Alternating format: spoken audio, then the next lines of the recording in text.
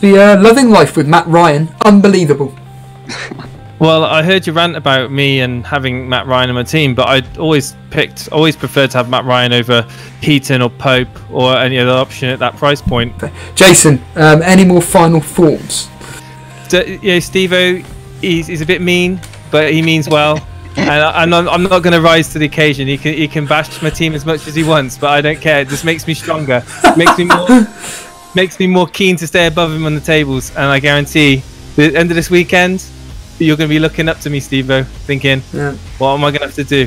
What am I going to have to do to catch him? See you later, dude. Exactly. Cheers. Cheers, Jason. Thank you so much. There was our co-host Jason there, uh, bragging. Brighton are going to concede goals. I think Burnley's going to concede goals. I think Villa's the best defensively out of them three teams. Don't, I don't know what you're talking about, mate. Matt Ryan's going to keep five clean sheets. What are you talking about? This is now locked in. The game's updated. He can't change this team.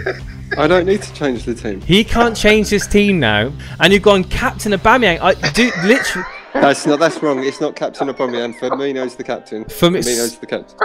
From Wow. Yeah, Vince, but you're then right. what, what about, I what about all I'm you holding when, my when hand over Salah gets mouth. taken off after 50 minutes with two points, and there's people there triple captaining?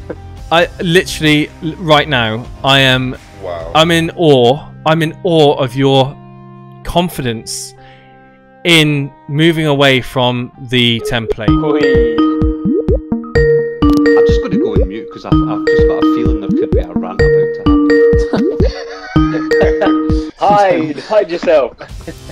Steve I'm going, to, I'm going to just give Brett a shout and jump. Oh, oh, w- w- w- hang on. I'm seeing something here. I'm seeing something here. Right away, I see something. Right, I don't care about anything about tonight Oh, other than that.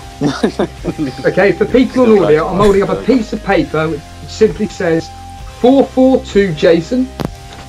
I I am happy that I've gone four for two because I've managed to uh, improve my team.